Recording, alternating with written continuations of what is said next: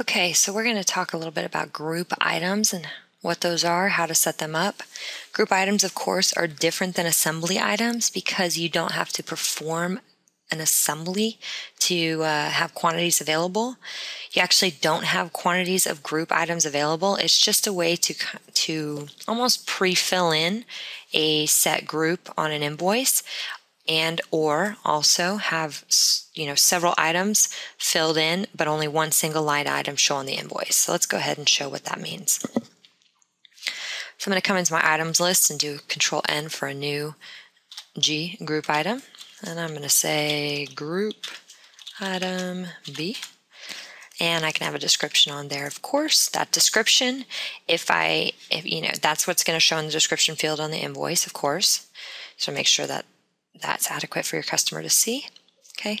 Now, if I choose to print my items in group, I'll show you what that means in just a little bit when I do the print previews. But basically that means do I want to show what items fill up to make this group? Okay. So I'm going to choose a couple items. I'm going to choose some labor hours. There's two labor hours as standard in group B, some plumbing hours. There's a couple of those. Let's say there is a hmm, delivery charge that's standard.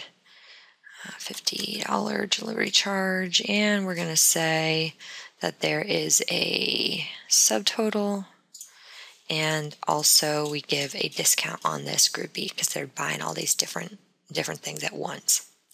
Okay, so now when I go in and create an invoice, and I'm going to create it to be at the end of the month, and I choose group item B. Okay, so notice how it pre-fills in for me all the different information here based on how many, the quantities I said. Um, so I'm going to say we this customer bought five group item Bs. So notice how again changes my quantity based on the multiples of five. I can on the fly change quantities. So let's say the delivery charges actually we don't have any quantities there, right? We just have a price. Okay, it gives me the expense total, gives me the customer loyalty discount. Now, if I go ahead and do a print preview here, because I said do not print the items in the group, notice how it shows quantity of five, group item B, price each, and the total. So internally, we're tracking to each of those different items to labor, plumbing, delivery. But externally, as far as the client's concerned, all they see is group item B, which is what they purchased five of. Okay. Now let's go back and edit the item and say to print the items in the group. So if I say to print them, now I'm going to go ahead and create an invoice and we're going to say that it is a remodel charge here and we're going to say group item B. And then if I save this one and do a preview, notice here, because I said print items in the group, it's going to show me the different items in the group in the breakout. All right. Now, the nice thing about groups in Pro Premier, um, you you know, and Enterprise, of course, but in in and Premier, you can't change inventory assemblies on the fly.